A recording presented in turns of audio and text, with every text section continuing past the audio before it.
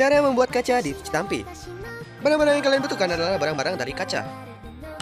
Dan untuk barang-barang dari kaca kalian bisa pakai apa aja? Iya karena gue punya kacamata doang jadi pakai kacamata aja. Nah selain itu kalian juga memerlukan arang. Arang itu dibuat dari serpihan serat dan juga getah pohon. Untuk getah pohon kalian bisa gunakan bahan-bahan dari tumbuhan Seperti yang nanti daun contohnya. Dan untuk serpihan serat kalian bisa gunakan bahan dari kayu. Ya apa pun itu yang berasal dari kayu Nah, serpihan seratnya kalian perlu tuh jadi ya bikin lagi. Nah, kemudian kalian tinggal gabungkan saja seperti ini dan ya dapat kalian akan mendapatkan berikat arang. Kemudian campurkan barang-barang dari kaca dan berikat arang. Ya, kalian perlu dua bahan dari kaca ya. Dan jadilah sebuah kaca. Tuh. Dan ya semoga tutorial ini membantu untuk kalian dan ya sampai jumpa di video selanjutnya.